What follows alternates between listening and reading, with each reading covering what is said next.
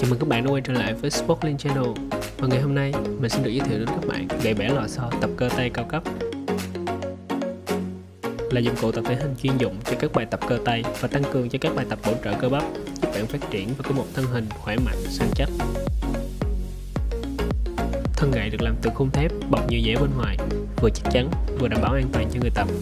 Ở giữa thân gậy là lò xo với độ đàn hồi cao. Tay cầm sản phẩm được làm từ nhựa ABS có trang bị dây đeo để đảm bảo an toàn khi tập luyện, không bị trơn trượt, gây ra nguy hiểm cho người tập. Sản phẩm có kích thước 64 x 23 x 10 cm lực bóp 20 kg phù hợp với những người mới tập luyện. Truy cập sportlink.vn để biết thêm thông tin chi tiết của sản phẩm. Cảm ơn các bạn đã theo dõi. Sportlink xin chào và hẹn gặp lại ở những video kế tiếp.